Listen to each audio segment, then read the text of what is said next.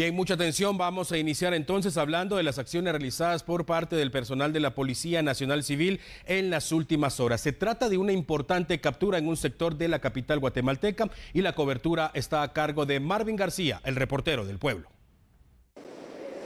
Gracias compañeros en Estudios Centrales, información que tenemos y es que luego de un mes de investigación, la Policía Nacional Civil ha logrado la captura del presunto responsable de haber disparado en contra de una mujer cuando se encontraban en una cevichería en la zona 12 capitalina. Esta persona fue capturada en la zona 6 de acuerdo a la información por parte de la Policía Nacional Civil. Edwin Monroy me acompaña para que nos dé detalles de quién se trata el capturado. Gracias Marvin, amigos televidentes. Efectivamente, una investigación realizada por eh, el Departamento contra Femicidios de la Policía Nacional Civil junto a esta Fiscalía que está a cargo de esta diligencia. Hoy Policía Nacional Civil puede informar de la captura de Héctor Borneo Perdomo López, de 50 años.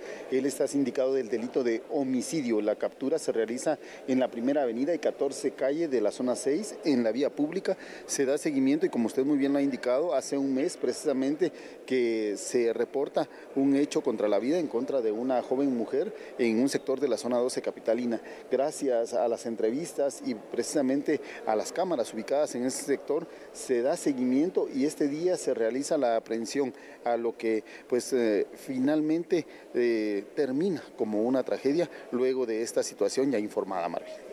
Muchas gracias, inspector Edwin Monroy. Pues eh, cabe mencionar que dentro de estas investigaciones, de acuerdo al dato oficial, es que estos eran amigos y se encontraban bebiendo licor dentro de este negocio. Al calor eh, de los tragos, pues eh, esta persona discutieron y le disparó, situación que se dio por parte de los investigadores y se inició con la captura de este presunto responsable del asesinato de esta mujer y es por ello de que ya fue capturado y puesto a disposición a un juzgado correspondiente. Fernando Arevalo en cámara, yo soy Marvin García.